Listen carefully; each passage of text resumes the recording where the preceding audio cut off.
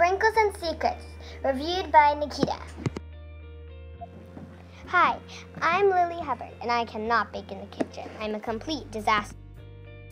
I am now in a book club called the Baking Bookworms, but nobody knows I can't bake. I am also in a band. My bandmates are Zola and Abigail. I am also a good friend of Sophia. Sophia is a good friend of Isabel. Lily is a good friend of Sophia. Sophia is also a friend of Isabel, and they are both in the book club.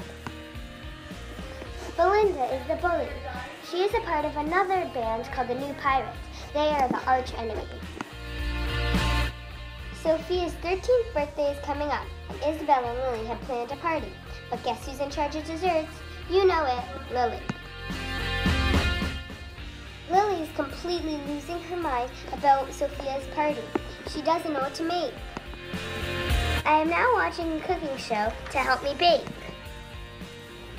After watching the cooking show, I am now going to try to make a strawberry shortcake. But let me tell you, it's not going so well. Will Lily be able to pull off making desserts? Read to find out.